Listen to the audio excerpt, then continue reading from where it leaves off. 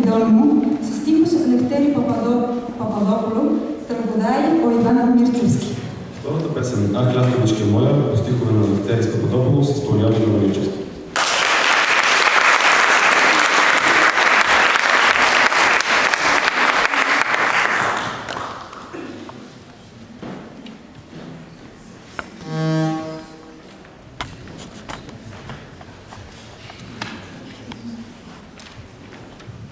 Thank you.